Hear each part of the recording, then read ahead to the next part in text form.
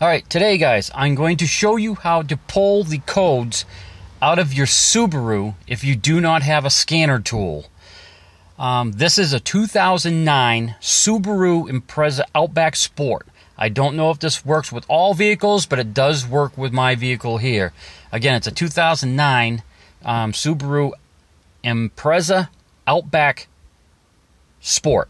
So, the first thing you need to do is turn your key on and see where this says trip B?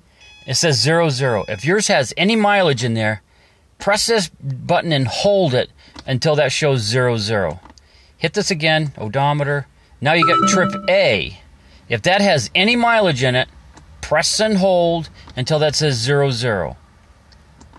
Hit it again, again, and come back to where it says your odometer before you shut the key off. All right, so now we're at the odometer. I'm going to shut the key off.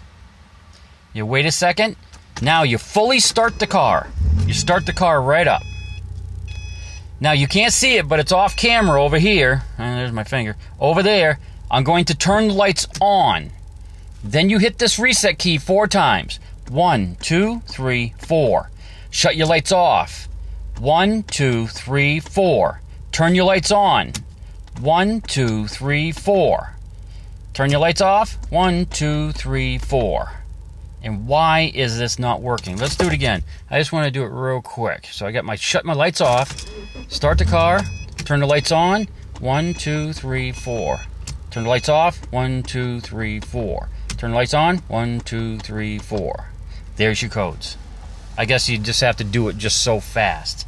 So the key to it again is start the car up. Make sure you zero out both the trip A and B shut the car off. Um, make sure your lights are off.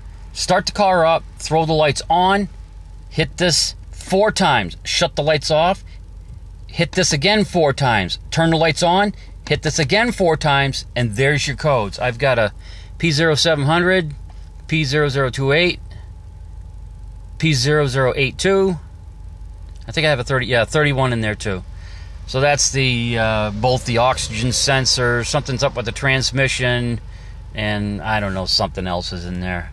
I think it's a VVT module or something like that. But anyway, that's that's how you do it, guys. So again, I'm going to try to do it. I'll, I'll do it. You got to do it kind of fast. So again, we we zeroed out the tripometers on A and B, and we got it set on odometer. So you start the car, turn the lights on Hit this four times. One, two, three, four. Shut the lights off. One, two, three, four. Turn the lights on. One, two, three, four. Shut the lights off. One, two, three, four. Yeah, we'll do it again. Like that. Let's try this again. Make sure that's set on odometer before I shut it off. Alright, it's on odometer. Lights are off. Start the car. Turn the lights on. One, two, three, four. Shut the lights off. One, two, three, four. Turn the lights on. One, two, three, four. There it is. It just takes a couple times, guys, but you'll get it. And that is how you read the codes on your Subaru without a scanner tool.